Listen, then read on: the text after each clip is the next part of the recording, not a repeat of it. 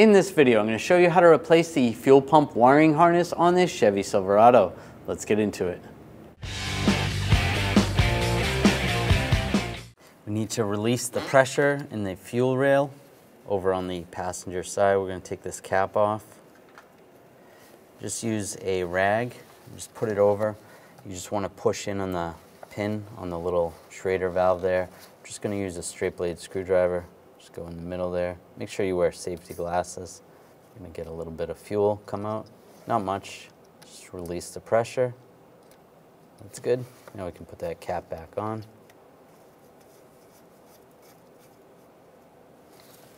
We're to take the gas cap off. I'm to take these three bolts out. Use a 7 millimeter socket.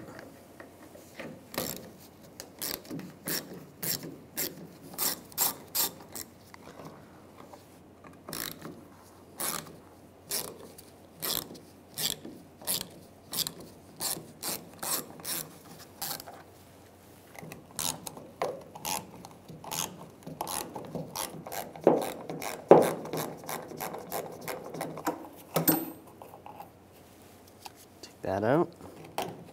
You can push the top of the filler neck down.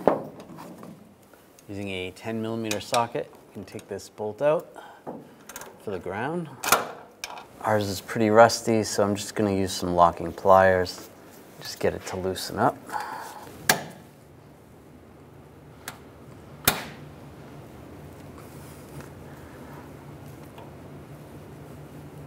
All right, we got it loosened up.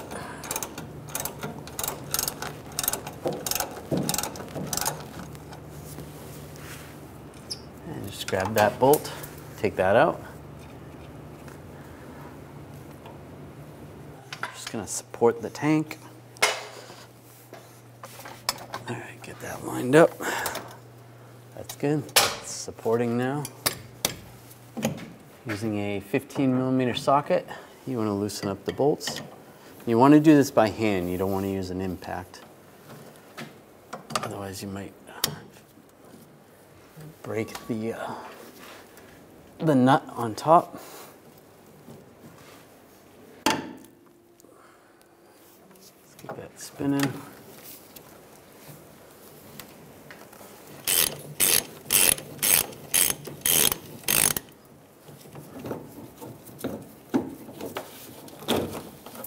We go, slide that down.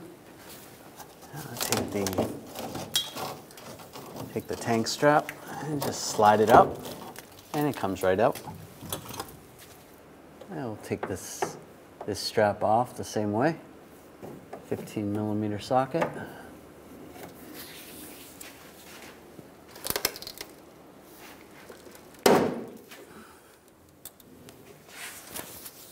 Again, you don't want to use an impact. You could break the J-nut.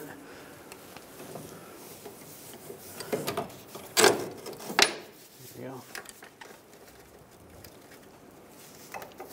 Take that bolt out. And slide the strap down. Take that off. And it slides right down. I'm going to slowly lower the tank a little bit. Don't want to drop it down too much because we still have some things to disconnect. Just drop it down slowly. We're going to disconnect these two lines. And just push the two tabs. Make sure you have a drain bucket underneath. You might lose some fuel. And just grab the hose and slide it off. A little bit of fuel. Do the same with the top one. Push the clip in. Just try to slide the line off. There we go. And it slides right off. Disconnect this vent hose right here. Just push down. Just squeeze it and then you should be able to rock it off. May need some needle nose pliers. Slide that off. You can see, you squeeze it, That pushes the locks out. just make sure the filler neck goes over the frame. Just come down some more.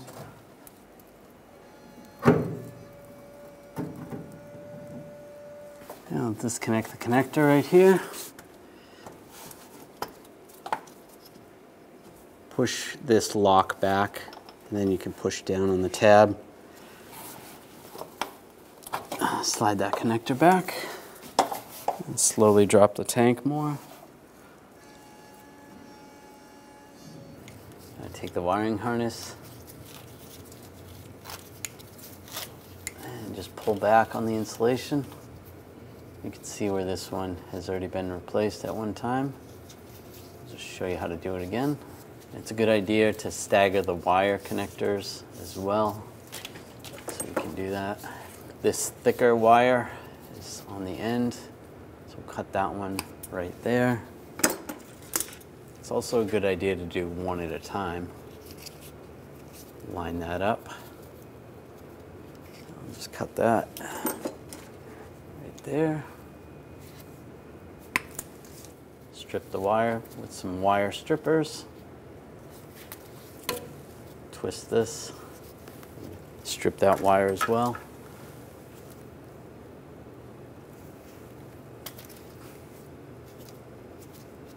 Give it a twist. Take this connector, one of the bigger ones, slide that over the wire, crimp that.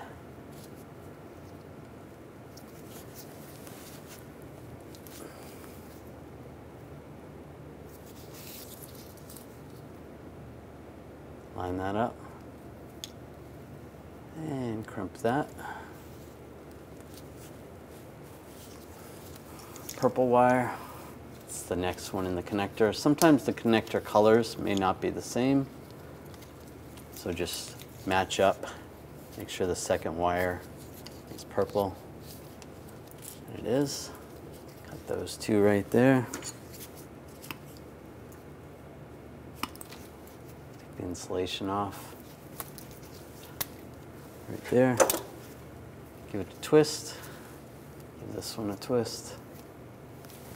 This is going to be the smaller connector. The wire's not as thick.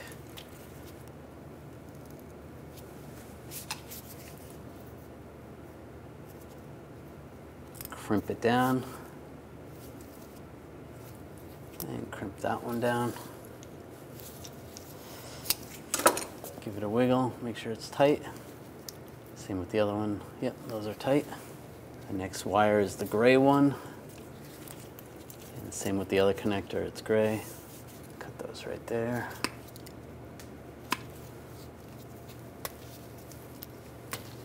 This gray wire is thicker, so I'll use the bigger connector.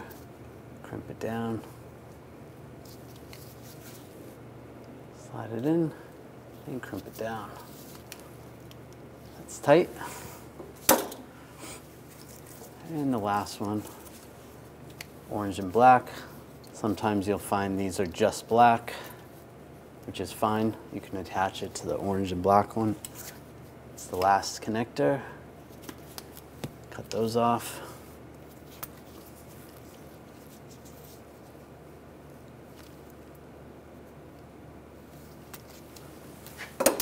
Smaller connector.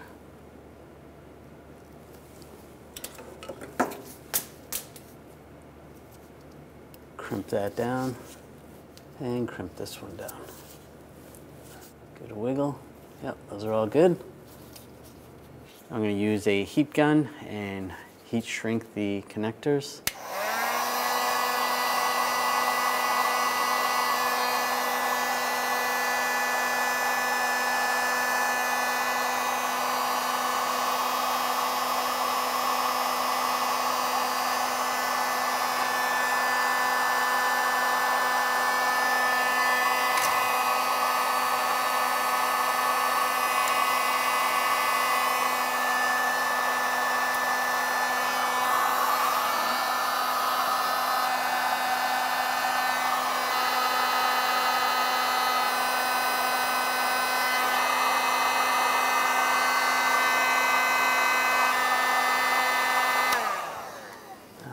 This back over the cover, the insulation sheath. Slide it in place. And when you're doing this, you want to make sure the gas tank's not right under you. You obviously don't want a heat gun or even an open flame underneath. So make sure it's far away. That's good right there. Are you good to put the tank back up? Now attach these to the hoses, just push those in. Same with this one. Push it in, lock it down. We'll go up with the fuel tank. Just make sure you grab the filler neck. Have that go up first. Once you're ready, once it's high enough, you want to connect the connector to the fuel pump. Line that up, lock that down, push down on the lock. Fuel tank pressure sensor, lock that in.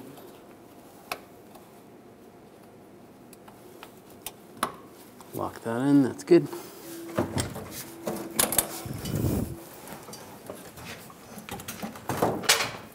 Looking good. And connect the lines, the fuel lines, before you push the tank all the way up. Makes it a little easier. All right, those are locked in now. I'm just gonna try to pull that apart. Yeah, those are locked. All right, now you can raise the tank even more. Uh, connect this connector. That hose right there. Slide that in place. That's good. For the bolts, I'm just gonna use a light coat of anti-seize just because we're in a rusty area. That's good. Uh, slide that into the frame. Just use a pry bar, push that up. Just get this lined up. Take the bolt, get that started.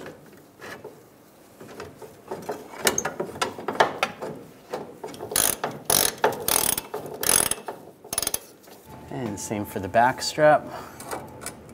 Put that in there.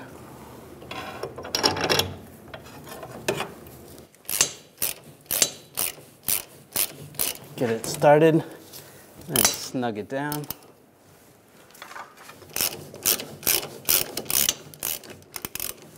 Now we'll torque these to 30 foot-pounds.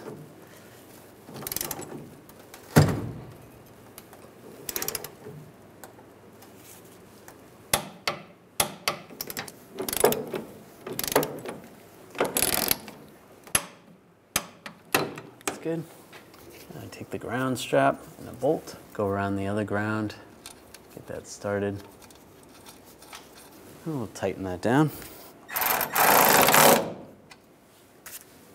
Go, that's good. Now you can lower the support. And line this up, put the bolts in, get those started.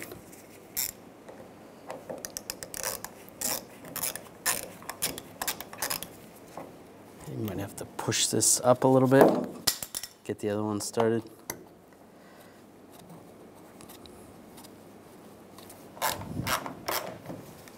And the top one.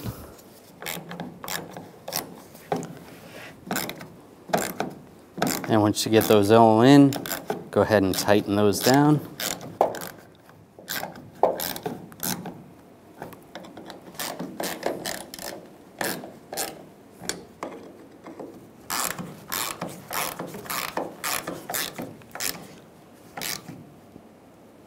Snug that down. Then take the gas cap, line that up, snug it down. When only the best will do, demand TRQ. The only company that lets you view before you do. TRQ is committed to offering the highest quality aftermarket auto parts that are engineered for peace of mind. Thanks for using and viewing with TRQ.